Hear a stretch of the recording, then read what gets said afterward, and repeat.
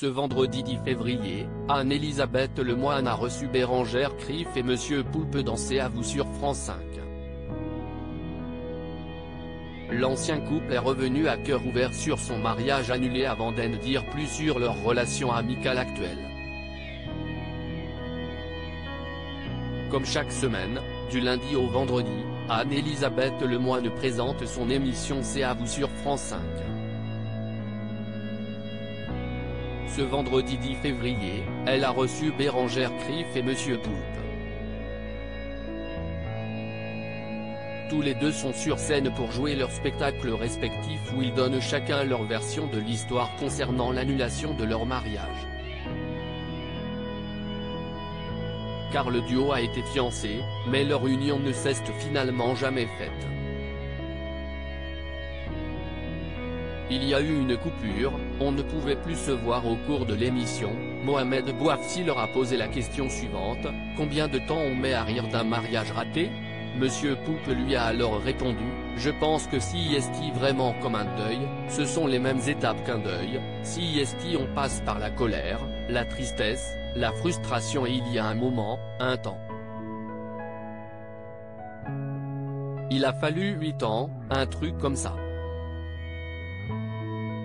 Bérangère Krief a continué en précisant que sur le moment, elle était en colère. Et de poursuivre, il y a eu une coupure, on pouvait plus se voir, c'était très compliqué. Je pense que n'importe quelle rupture, si est une projection d'un film et si est très dur d'accepter que le film ne se fait pas. Là, quand on a projeté un mariage, ça veut dire qu'on a inclus la famille, les amis, donc encore plus de gens, et accepter que le film ne se fasse pas, ça a été une étape assez longue.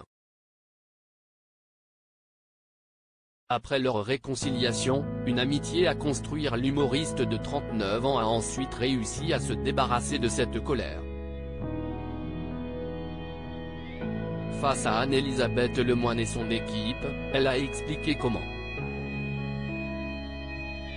Un jour, je me suis vu chargé d'une colère, comme si je la matérialisais presque dans une valise avec laquelle j'étais tout le temps et dès que je voyais des gens, je leur disais, tu te rends compte. Et je ruminais ça et Humar.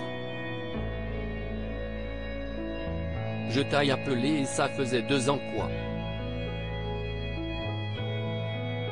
Après, il a fallu construire notre amitié. Avec ce coup de fil, Monsieur Poulpe a confié avoir eu un poids qui s'est enlevé. Et je me suis dit, ok, je ne peux plus être le con dans l'histoire, et je peux essayer de m'améliorer. À lire aussi Je suis toujours la fille qui se fait larguer, Bérangère Krief révèle à quel personnage très connu elle est souvent comparée.